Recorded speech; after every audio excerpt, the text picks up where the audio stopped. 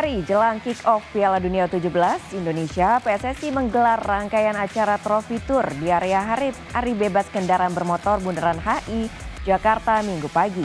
Selain sosialisasi, masyarakat juga bisa melihat dari dekat, bahkan bersuah foto dengan trofi asli Piala Dunia U17.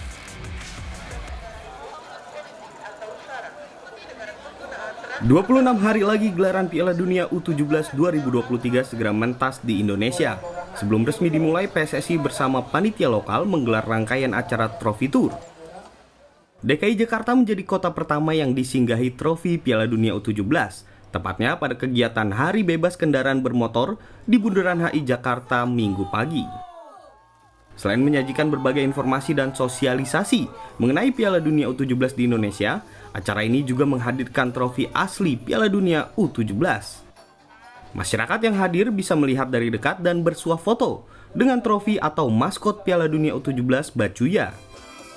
Ketua Umum PSSI Erick Thohir berharap Piala Dunia U17 didukung seluruh lapisan masyarakat.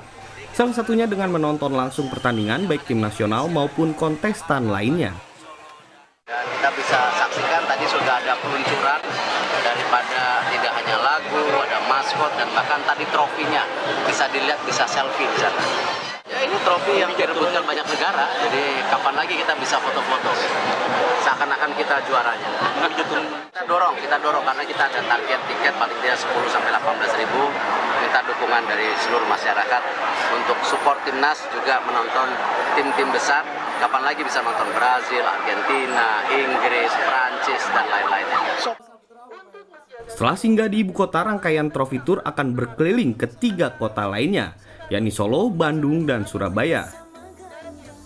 Angga Durski, Kompas TV, Jakarta.